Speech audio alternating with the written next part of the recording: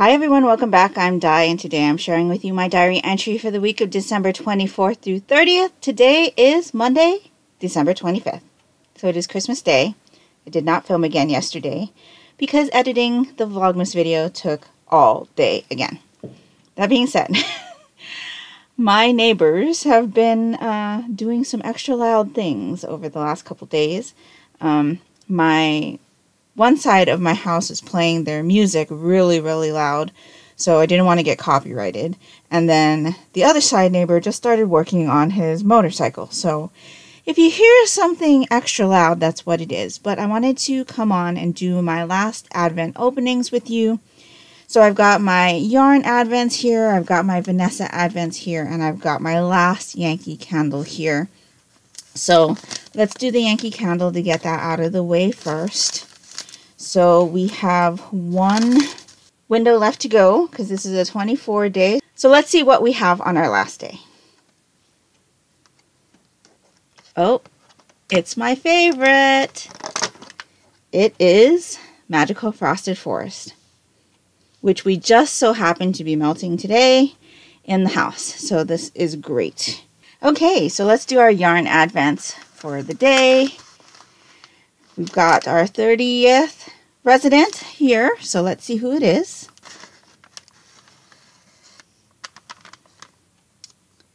It says the Over 400 Club. Let's see if I can get a little bit closer. Presumably gathering, as its name implies, several ghosts bonding over their great age, the Over 400 Club can often be found gathering at the banquet table in the Haunted Mansion's Great Hall. Among its members are Great Caesar's Ghost, the Crowned Ghost, and Roderick Kilroy, as well as several other spooks whose names and origins are considerably more unclear. The club is usually seen taking part in the birthday celebration of the birthday girl who does not appear to be a member. So that is the Over 400 Club. And let's see what the skein looks like. Woohoo! Maybe we'll be ending the sweater in some dark blues. So again, we've got some nice navy colors with purples here in this tonal. I would call this probably a variegated though because these are very purple as opposed to blue. And we've got some really nice streaks of really light lavender.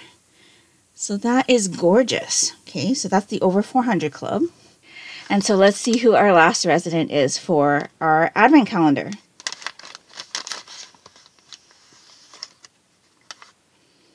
And we've got Master Gracie. Didn't we have him before? Or was it, uh, he's he the descendant of? Or the other way around?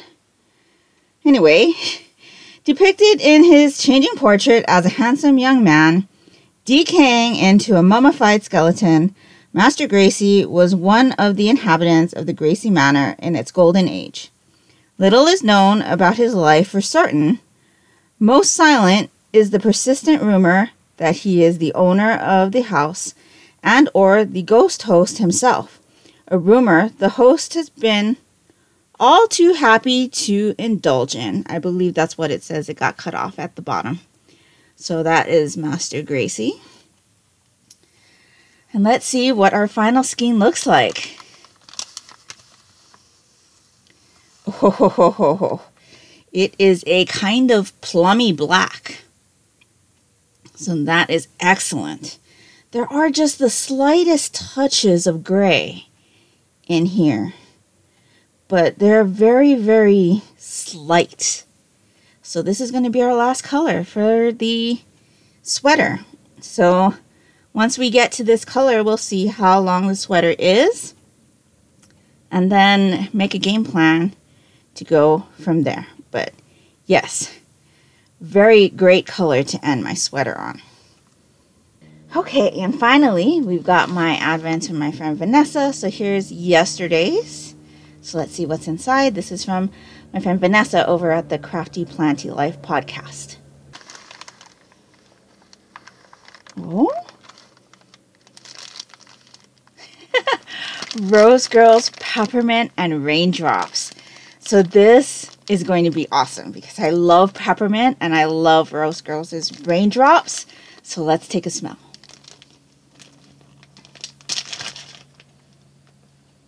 Oh, that is good. That is good. I'm so thankful for this. Thank you, Vanessa. I am going to enjoy this a lot. So that is peppermint and raindrops. And then our last packet looks like a skein of yarn. So let's see what's inside. It feels like a skein of yarn. Oh! Oh! Oh, that is so fun! Cat sandwich fibers. This is another dyer that I have seen quite a bit but have never purchased from yet. So that's awesome. Um, this colorway is called Merry and Bright. So it is a Christmas colorway. It's in the Trussel base. Uh, 75 25 superwash merino and nylon. Oh, that is going to be amazing. Definitely see some socks in my future. So that is so fun. Thank you so much, Vanessa. I am so thankful. And I'm so glad that we've gotten to know each other much better over the last year. And I really, really appreciate you. So thank you so much. So that is everything that we've got for the Advent openings. So I will continue to work on my Advent sweater. So you will see updates on that in future Disis19 Diaries as well as the end of this week's. Um, I will be planning for my phase out your TBR readathon round two sometime this week as well. And yeah, I'll definitely be updating you later in the week on my progress through what I had opened for my manga advent calendar project because I am still reading those selections. And yeah, so I'm off today and tomorrow. I have a short work week this week, like two days, maybe three. I might have to help out on Friday, but we will see. And so, yeah, I'm just going to relax for the day, I think. Maybe get some video game time in, some knitting time, and just take it easy. So, I hope you're all having an amazing day, whatever you are doing and I will catch you later. Hello, everyone. It is Friday, December 29th, and I'm here to share with you my Phase Out Your TBR Round 2 Readathon TBR. I don't know why it was so hard for me to get that out, but yes. So, Phase Out Your TBR Readathon is being hosted by Krys' Corner. They are doing a readathon every other month for each phase. So phase one happened in November. I am not done with my first phase. I'm still reading my last book for that phase, but I wanted to get my TBR done um, so that I knew what I needed to complete for my next phase. So it looks like we're going to have about two months to complete each phase, which is great because I believe as the phases go, the phases get longer and longer and longer. So I'm not sure if I'm going to be able to keep up with this, but for now, we're going to go for it. So I have a new notepad for this year, a new notebook. This is actually an old notebook. I have had this notebook for years and I just have never used it uh, because it's so pretty.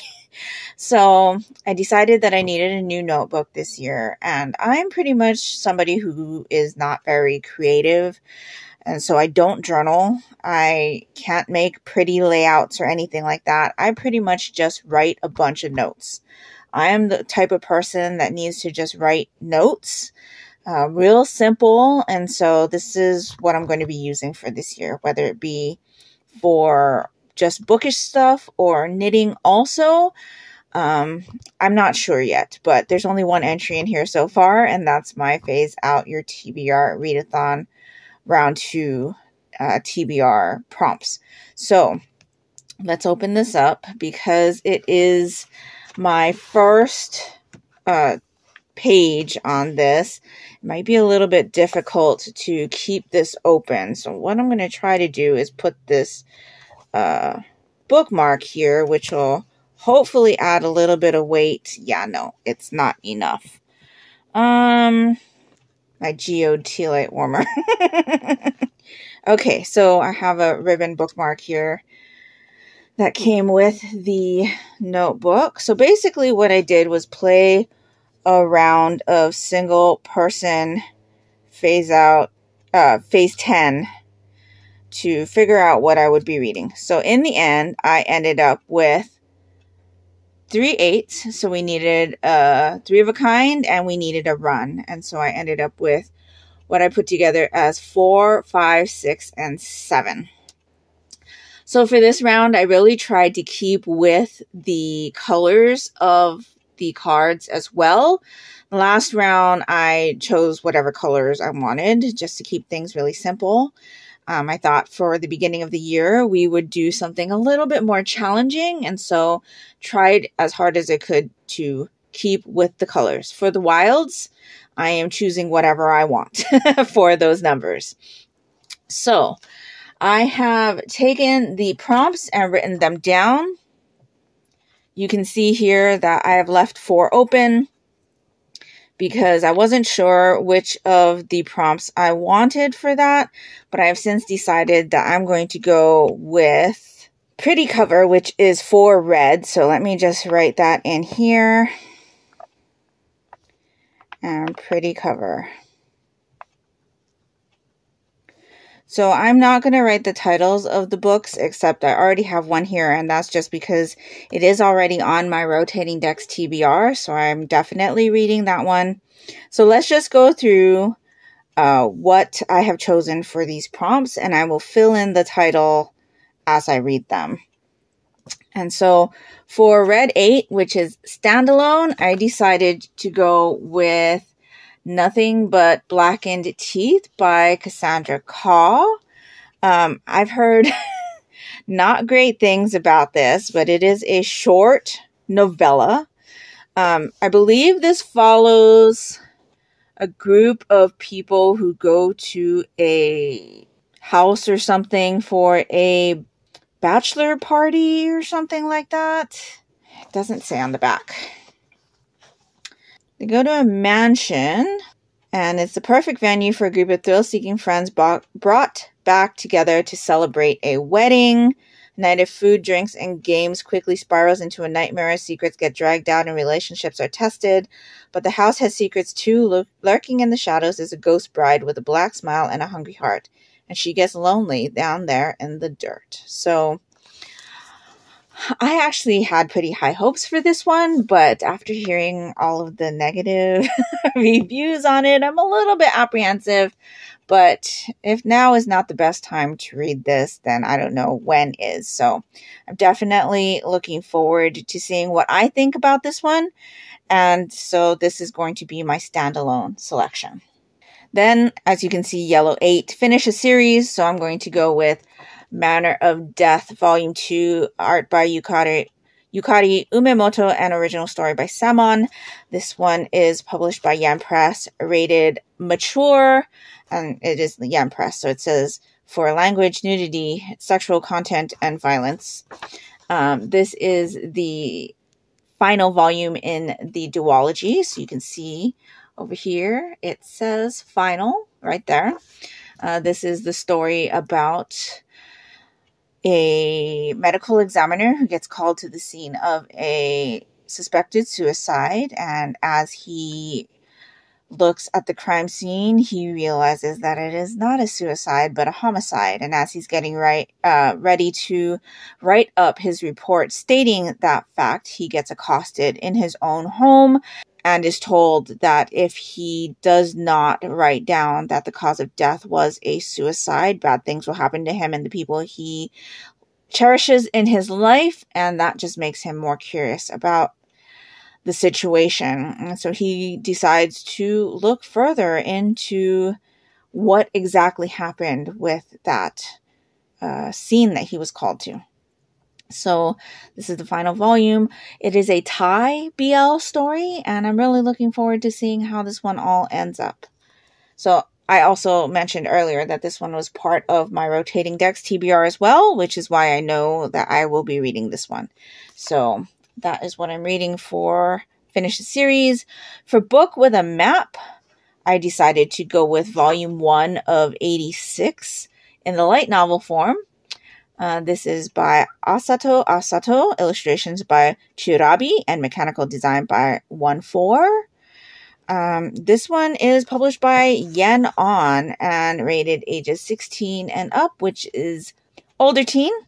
Uh, so this says a war without casualties. The Republic of San Magnolia has long been under attack from the neighboring Giadian Empire's army of unmanned drones known as the Legion. After years of painstaking research, the Republic finally developed autonomous drones of their own, turning the one sided struggle into a war without ca- casualties, or at least that's what the government claims. In truth, there is no such thing as a bloodless war. Beyond the fortified walls protecting the 85 Republic territories lies the non existent 86th sector.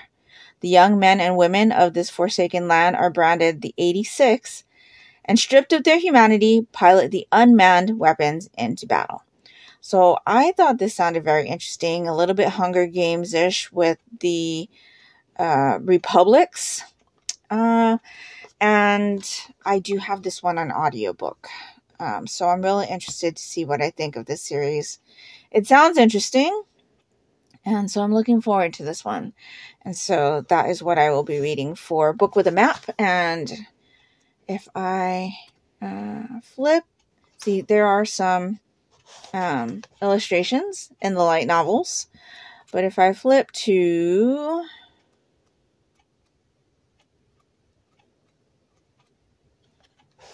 here, this says map. it says the Republic of San Magnolia Eastern Front rough sketch map. So it talks about the sectors. It's not what you normally call a map, but it says it's a map. So I'm going with that.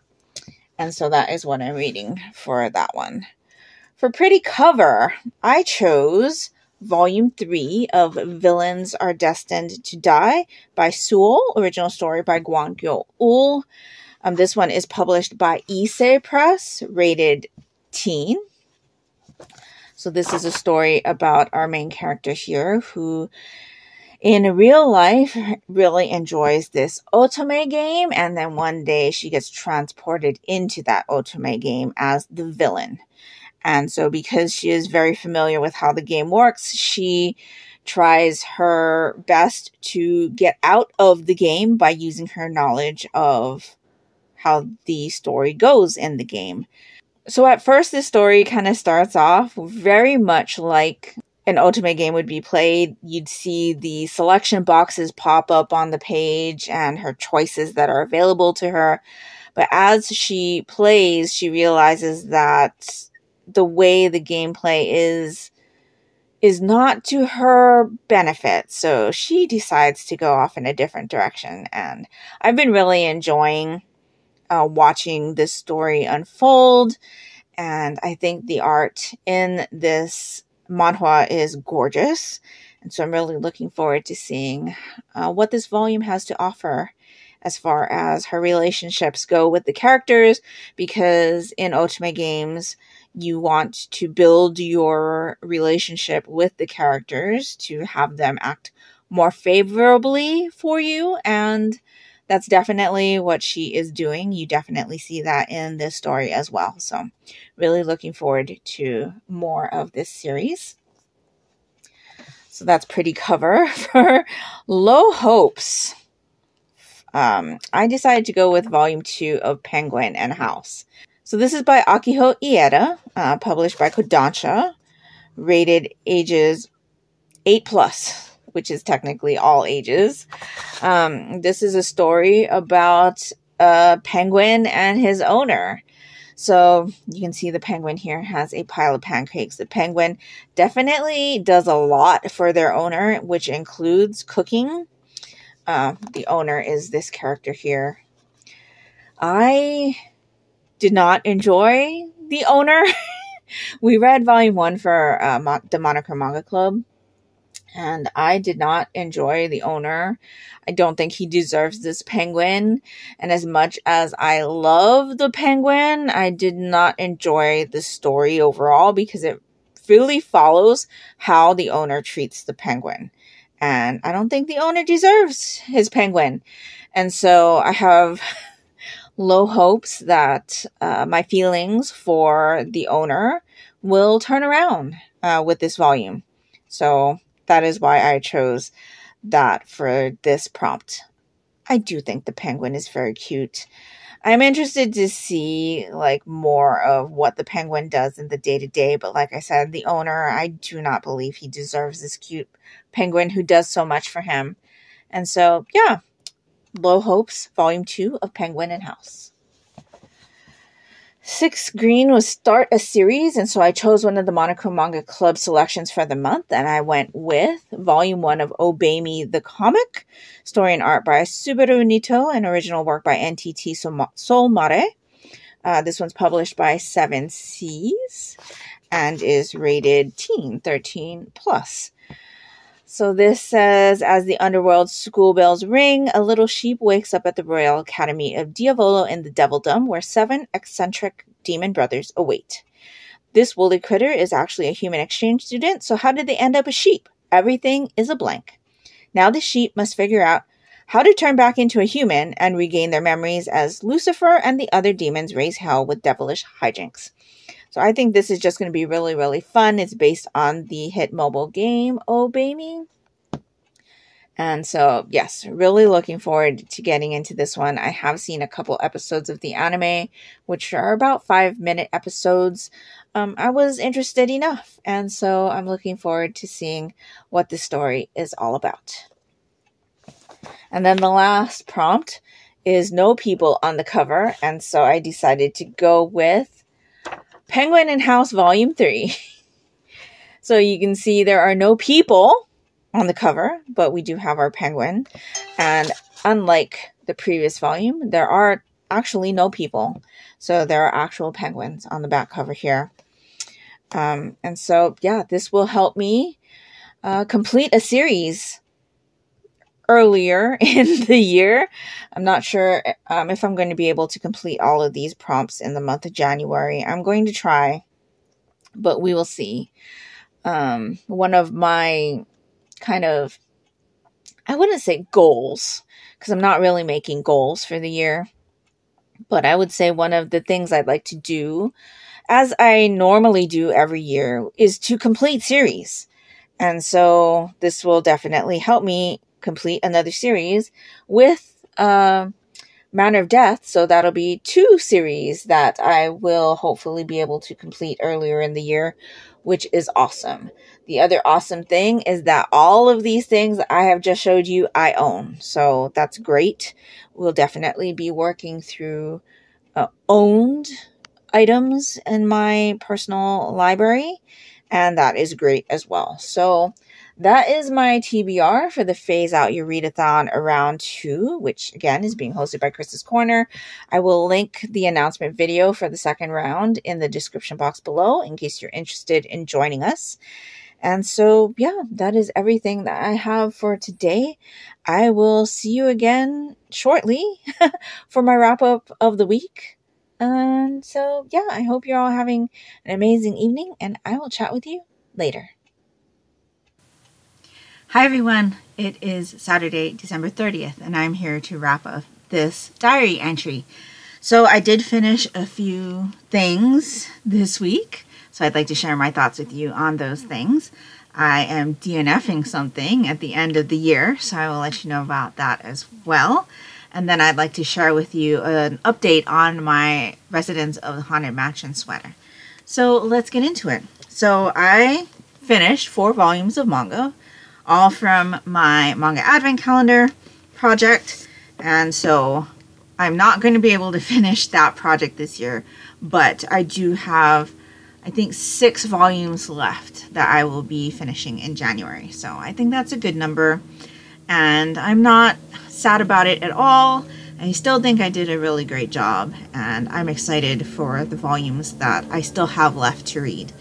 So, anyway, I finished Yakuza Fiance, a story and art by Asuka Konishi, uh, published by Seven Seas, rated older teen.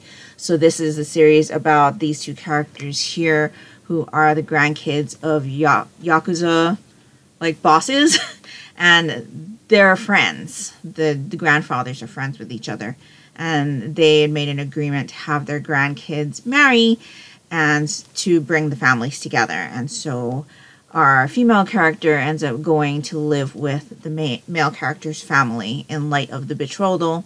They're getting to know each other, and he is definitely different from how he presents himself, um, like in public. And so she's starting to learn about that and they are learning about each other. And in the midst of all of this, there is a kidnapping of another person that is kind of from another Yakuza clan. And so they're kind of looking into it, type of thing. And as they do that, they're learning more about each other's strengths. And I really, really enjoyed this volume. Um, it's definitely interesting seeing what's happening between these two because, like I said, they're betrothed. But at this point, it's still very early in them getting to know each other. There are definite things that are starting to happen um, as far as, you know, feelings on both sides about how they feel about the other. Not necessarily romantic, but just like how they're feeling in general towards the other person that I'm finding interesting. Um, and I'm really looking forward to seeing how like their relationship either grows or doesn't grow and how I don't know, they start getting better communicating with each other. Uh, because at this point, they're still not really great at communicating with each other either. But that is kind of what makes this entertaining for me. Now, I hate miscommunication, but for me, that's not what's happening here. It's just that they don't know how to communicate with each other, or they're not willing to communicate certain things with each other because they don't know each other very well. And so it's all part of that learning process, right? Um, there was another character that was introduced to us in this volume that I am very interested in. And so I'm hoping to see where things go with that, especially with what happens in the last few pages of this volume. So I am really looking forward to continuing this one. I gave this one four stars. Unfortunately, I do not have any more of this series on my shelves at the moment. Um, apparently, when we were at the Barnes and Noble, my daughter was like, "Hey, they've got volumes three, four, and five. And for whatever reason, I told her, "No, that's okay. We'll wait." I don't understand why I told her that because I did really enjoy volume one. So either I didn't hear her properly, or I don't know, maybe it was that I just wasn't feeling well because you know, at one time I told you while we were at the Barnes and Noble, I got really, really sick and nauseous um, because it was so hot in the store. And so I don't know, but I'm definitely going to be picking the rest of what's of this series is out um, as soon as I can. So, really, really enjoyed this one. Definitely will be continuing. And then I read volumes 21 and 22 of Black Butler. So, I did remember where we were at the last time I read a volume in this series, which was great because then I didn't have to go back and reread volumes. Um, I'm really, really enjoying this so far. Uh, we got a little bit more about the Earl Phantomhive, who is uh, Ciel's father, who by the beginning of the series has passed away. And so we're kind of getting little bits of flashback here and there. And I'm just really, really enjoying uh, the story. And so, yeah, glad to be back in this world. I know that I'm really, really behind on the series, and we definitely need to not only catch up to what is currently out as far as purchasing and reading, but also filling out the previous volumes that we had borrowed from the library and read that way. So we started collecting this one, I think, in 2020. I think when the library shut down, we were no longer able to access the volumes. we started purchasing them. And so I think from volume 18 or so, we started. And so, yeah, we've got about 17 volumes or so to purchase to fill in the front part of the series. But it is really, really enjoyable as a series. I'm not much into historicals, but there is enough like mystery and supernatural elements in this entire story that it really keeps my interest. And so I gave both of these four stars, looking forward to continuing with the series. I think there's also an anime season coming out next year, if I'm not mistaken. So I'm really looking forward to watching that as well. And then last night I read What He Who Doesn't Believe in Fate Says, Volume 1, story and art by Omu the Rice. I forgot to tell you that Black Butler is by Yana Toboso, published by Yen Press, uh, rated older teen. Um, published by Seven Seas, rated teen. So this story is about um, our guy here on the cover. His name is Kosuke, and he can see the red string of fate. And this red string is basically a string that ties you to your like soulmate. And he one day suddenly is able to see it, um, but he has feelings for this girl named Yuka um, who he's known since university, but has never like said anything to her. But they're like really good friends. They go out drinking two times a week, and they're very friendly with each other. But Yuka's kind of feeling down about the fact that she can't find a boyfriend. And so they're adults now. They're in the workforce, and they still like, get together every couple times a week for drinks, and they have you know friendly discussions and things like that. And Yuka's at the point now where she's like, I'm ready to, you know, find somebody. And Kosuke's not ready to tell her how he feels, but he sees that his her red string of fate doesn't lead to him. And so after Yuka like gets this idea in her head that she wants to find someone, she goes to see a fortune teller, and the fortune teller tells her that her intended is someone who's nearby her and she immediately thinks that it's Kosuke because he's with her at the time and he's kind of the one that you know she's kind of always with. And so Kosuke knowing that her red string of fate doesn't lead to him lets her believe that it's him kind of but is kind of like wondering if he should like let her in on his feelings. Um, and kind of like you know to hell with this red string of fate that i'm going to make it work with yuka and things like that. And so it's a really interesting concept. I'm wondering why he can see this red string of fate. Like is it so that it's intended for him to know that he's supposed to be with somebody else? And like what will happen if he pursues this relationship with Yuka and you know possibly ruins their relationship that they have currently? Or you know I don't want to say ruin somebody else's life because they're supposed to be with him but you know something like that because there's so many things that could happen with this and you can obviously see that he's like ready to cut that string right because his doesn't lead to Yuka, and Yuka's doesn't lead to him. On the other hand, could things change in the future so that their strings end up leading to each other? There's just so many things that could happen with this story. I'm very, very interested to see what's going to happen. Um, and at the end of this volume, you do see who their strings lead to, which I thought was very interesting. And so, yeah, knowing that information and things like that, I'm really curious to see where this story is going to go. So, I really enjoyed the art style. I enjoyed the story. I enjoyed the relationship between Kosuke and Yuka. And I'm interested to see what's going to happen with them. So, definitely we'll be continuing with this one. And I gave this one four stars as well. Um, I also read one more thing, which I finished last night. Um, I mentioned to you earlier that I needed to read something with the word fire in the title to finish my year in Eldia readathon for the Aurelia Magical Readathon. So it was the year long reading challenge that kind of goes along with the Aurelia Magical Readathons that happen during the year. And so I've been working this entire year to get to this point so that I can be, have the ability to turn into a phoenix so that my character can have that ability. And so the last thing that I needed to do was to read something with uh, fire in the title.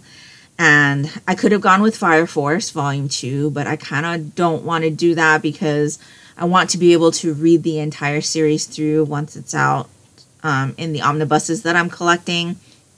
Um, I could have picked up Fire in His Fingertips, but that would be another series that I wasn't intending on purchasing um, and I don't currently own.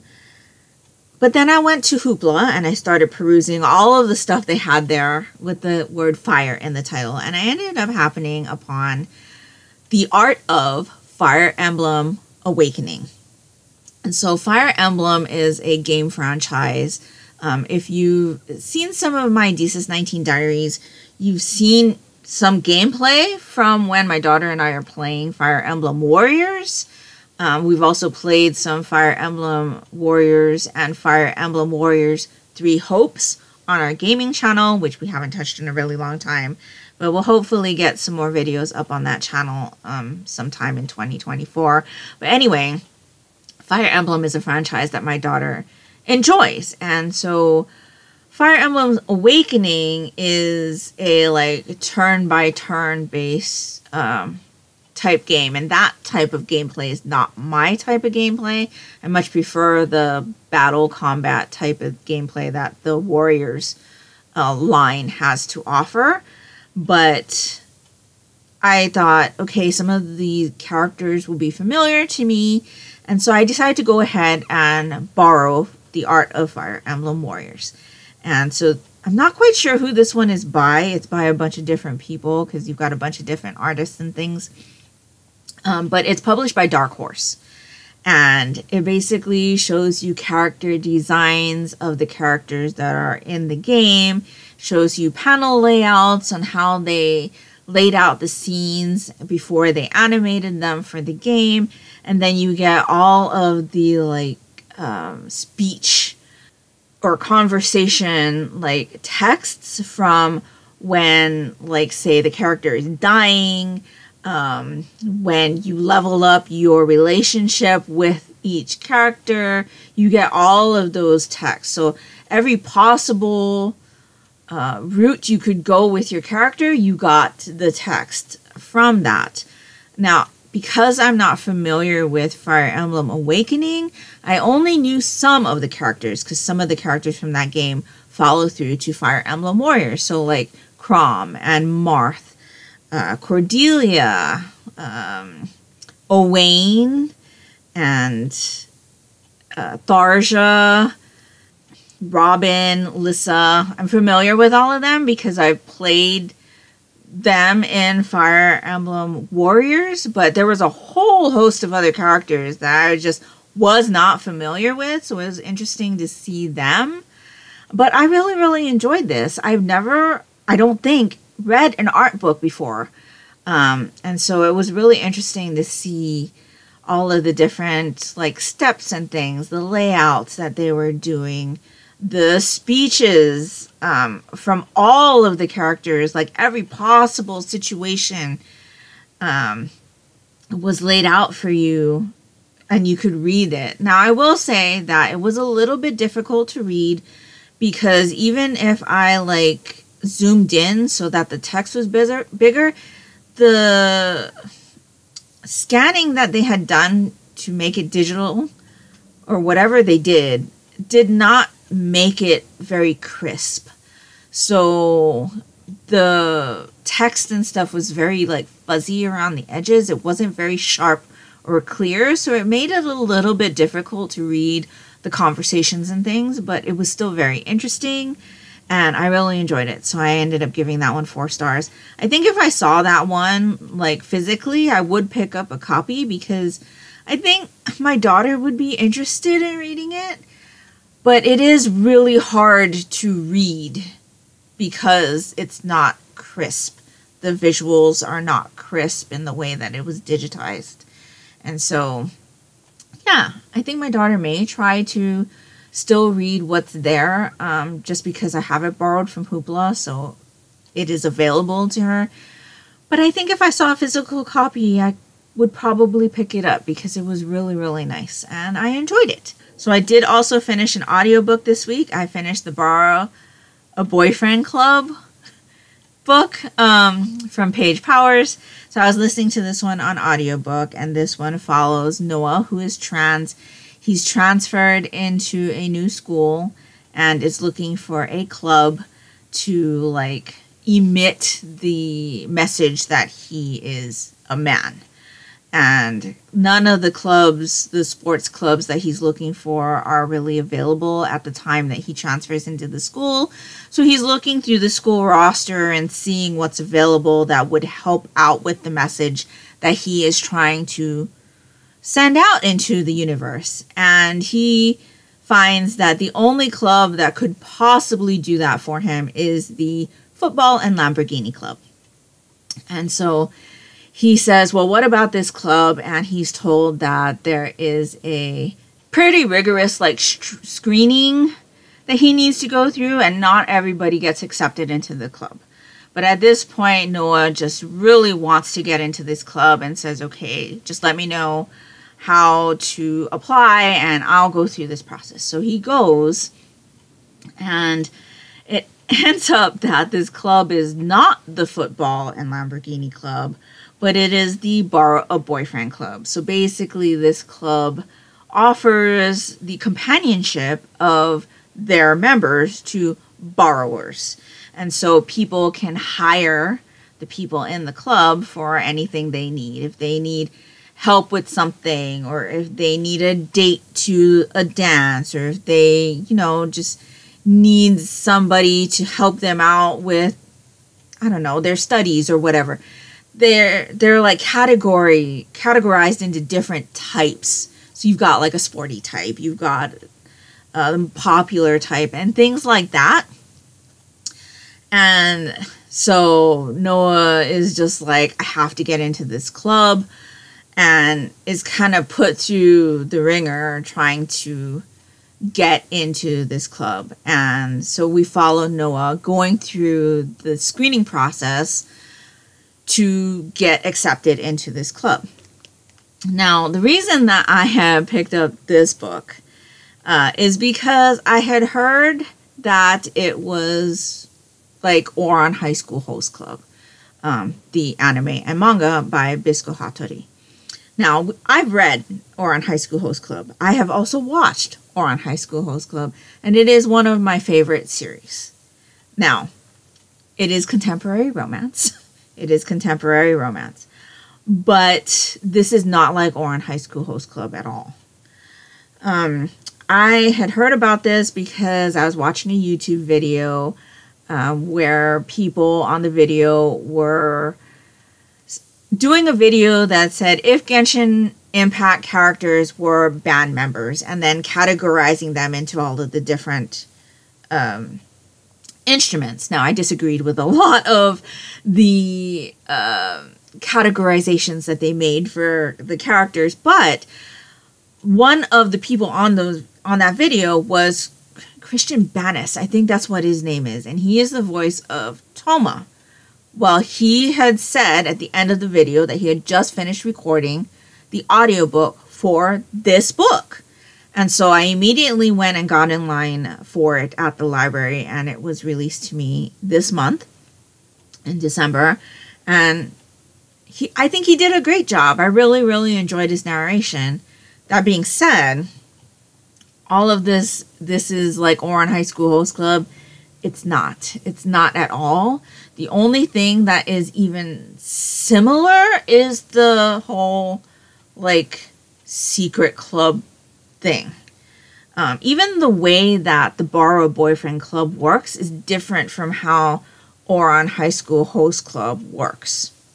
The way their organization is is completely different, and the way that we're following the character becoming a member of the club is different.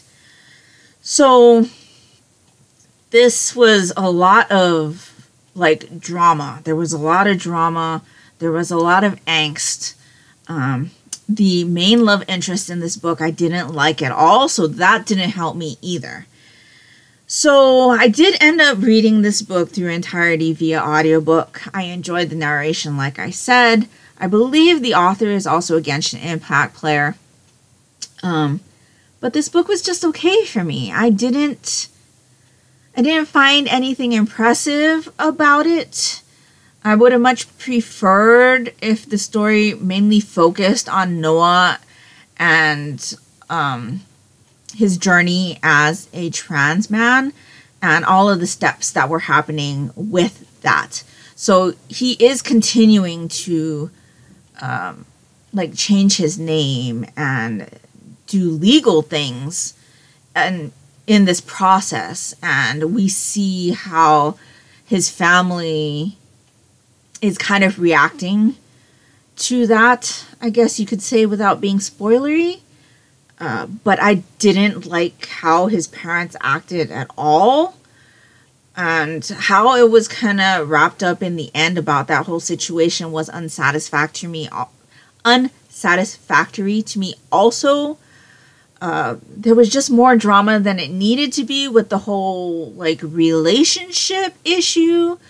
And yeah.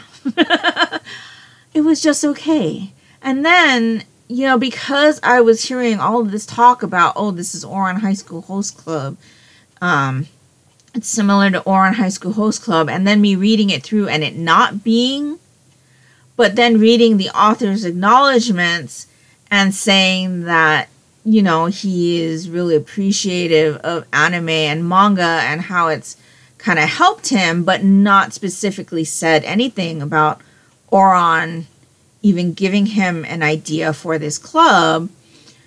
I, I just don't know if that's even a right comparison because did he actually pull that idea from Ouran or not? Because like I said the club seems to be very different from Ouran's.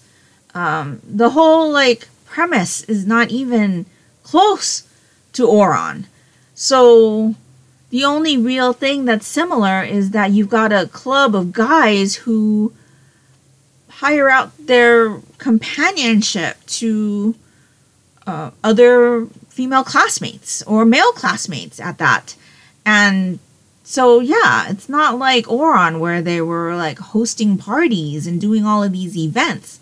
That's not what happens in this book. It is pretty much uh, like need somebody to help you out, need a date, you can hire one of our members kind of thing. And that's a way for the members to make a little bit more money and a way for you know, some of the students at the school to get a date or get some help with something or, you know, whatever they needed their borrowed boyfriend to do.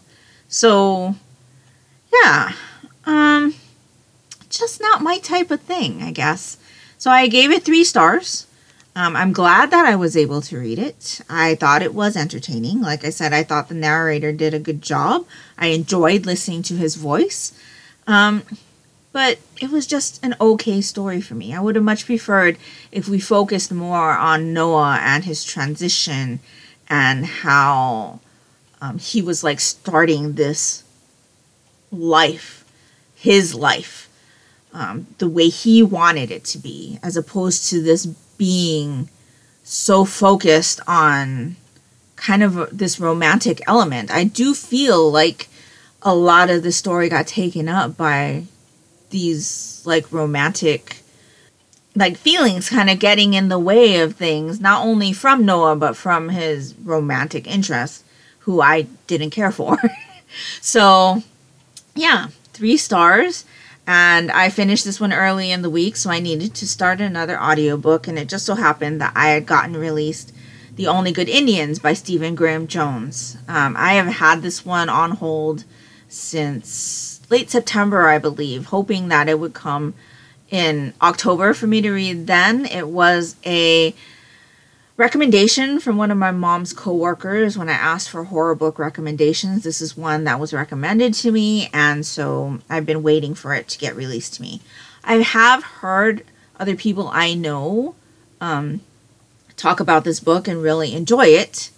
And so I thought, okay, you know, I'll give it a shot. It definitely sounded like it was going to be right down my alley. Um, it's about a group of guys who basically did something they weren't supposed to do. And now, years later, something is exacting its revenge. Um, at least that's kind of the gist that I'm I'm getting. Now, that being said, I am going to DNF this book. I am at 27% of the way through at this point, and nothing about this book is grabbing my interest. There is a lot of animal, um, like kind of gore. Uh, there are have been a couple of animal deaths in the book, and one of them being uh, like the killing of an animal, and it's pretty detailed. I did not enjoy that. I did not enjoy that at all. I'm not finding anything that I can attach myself to in regards to the characters. I'm not enjoying any of the characters. I'm not interested in any of the characters and what will come of them at this point of the book. There's just nothing grabbing me to the story. At this point where I am, I believe that we're starting to get into the revenge portion but to me, it's not really like anything. Like, I don't know. I'm sure if I continue reading, things may ramp up, but for me, this atmospheric horror, which is what I'm kind of feeling at the moment, is not doing it for me. I'm not finding any enjoyment in it. I'm not finding anything that I want to explore more with this story. And I just came out of a scene where one of our characters was talking to the police, and it was a bad interaction. And I didn't enjoy that scene at all either. And so there's nothing really keeping me wanting to read this book. Now, I did read a little bit last night from the actual ebook because I also have an ebook copy from the library thinking that maybe it was just the audiobook that it wasn't grabbing my attention enough.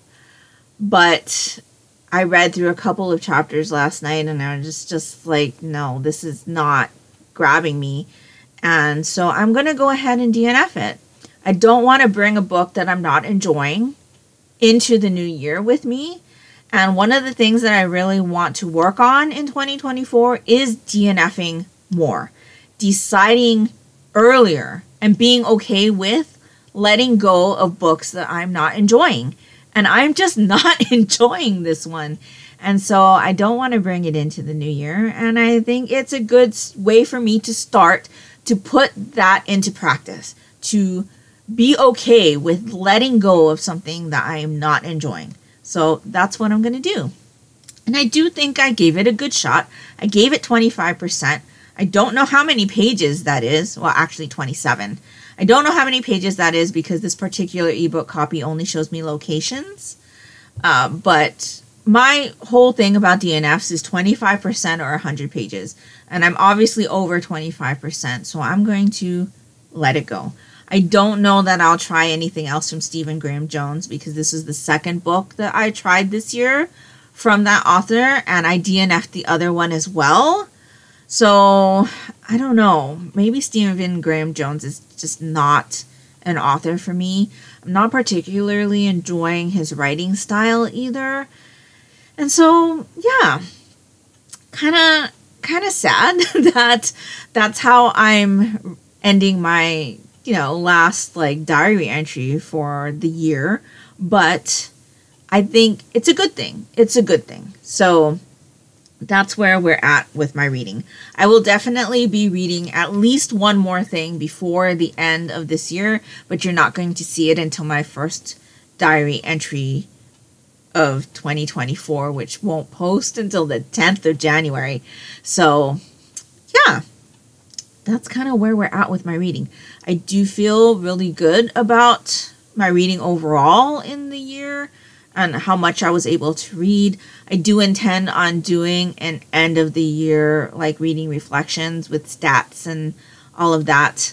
I'm not doing any goals per se, but I will let you know what I'm thinking of in another video. So just know that. And so, yeah, that pretty much wraps up my reading. And then let me show you where I am with my Residents of the Haunted Mansion sweater. I have not put in as much as I did the previous week, but I still did get a little bit of work in. So I am currently on the October 27th color, uh, which is this one. And I really can't tell. I mean, it looks really similar to the previous row, but you know what? I'm just going to go with it. So, so this is the front of my sweater here we go again, trying to like show you the sweater because it's really long at this moment. I am all the way down here, so you can see I can I just put in one row of this color. Here's the back. And so I put in a little stitch marker. So I was here the last time I talked to you. So I put in five residents. I think I put in seven the last time I talked to you. Um, but yeah, that whole section is looking really, really nice. I would say that the bottom section of the sweater is probably my favorite at the moment. Um, I did go ahead and measure from the underarm to where I was yesterday. So I was up to here and this is about 14 inches. So each like main color row and resident is one inch. And so with the remaining residents that I have, I should hit that 19 inches pretty perfect, I think, uh, before I start my ribbing. So I don't think I'll need to reuse any colors, which is great. And so, yeah, after that, I'll do the ribbing and then we'll go ahead and start on the sleeves. And the sleeves will, pretty, will match each row as it goes down. Now, I still haven't measured a sleeve on a sweater to see how long that my sleeve is going to be. Um, I don't think it's going to be as long as the sweater, though. I, I'm pretty sure that when I do sleeves, they're not as long as the sweater. But like I said, I do still need to measure that. But really loving this so far. It is looking amazing. And from far away, I think that looks great. Like, I don't know, this whole part kind of bothers me because it just doesn't seem to fit. I mean, we've got such moody colors going through the rest of the body that the um, the pastel part just kind of doesn't match. I don't know. Let me know what you think. But I'm still really, really enjoying the sweater, and I think it's going to look awesome. So that's where I am with that. Definitely a project that I want to continue to work on until I'm done with it uh, because it has been really enjoyable for me. It's also kind of rekindled my my knitting mojo and so, yeah. I did, however, tell my daughter that when I was done with the body of this sweater that I would cast her on another one. She is kind of more into wearing pullovers at the moment. And I've had yarn put aside for her for uh, just a plain like black sweater for a while. And so I think it's time to bring that out and cast that on for her. So that'll be a project to cast on after I finish the body of this sweater. Um, and so that means after I put in all the residents, after I do the ribbing at the bottom and cast off. And so I'll cast on that sweater before I start on the sleeve over here. But I'm really, really loving this so far. And so, yeah. So that's everything that I have for this week. So by time you see this, it'll already be after the new year. So I hope you had an amazing first few days of the year. Let me know how your year ended up. um, what was your favorite book of the year and your least favorite book of the year. I would really love to know. I like I said, I will be sharing my like end of year reading reflections in another video and we'll definitely let you guys know then um, what my highest and lowest rated reads of the year were and so yeah if nothing else and you'd just like to let me know that you were here if you could leave me some kind of celebratory emoji for the beginning of the new year. That would be greatly appreciated and would really help me out. And that will do it for me today. So I hope you're all doing great. I hope you're all safe and healthy. And until next time, take care and smile always. Bye.